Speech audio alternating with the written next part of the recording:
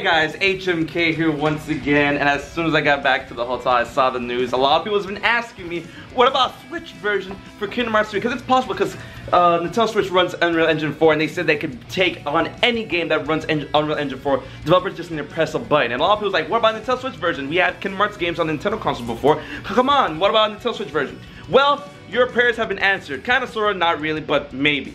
Tetsuya Nomura confirmed with IGN at D23 that got him. That Nintendo Switch version of Kingdom Hearts 3 is entirely possible along with Xbox Xbox One versions of 1.5, 2.5, and 2.8.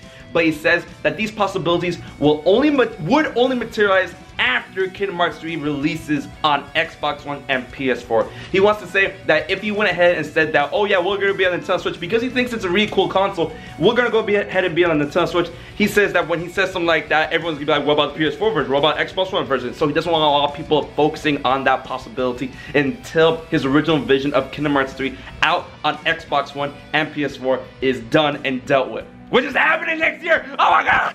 But yeah, it's happening, Nintendo Switch.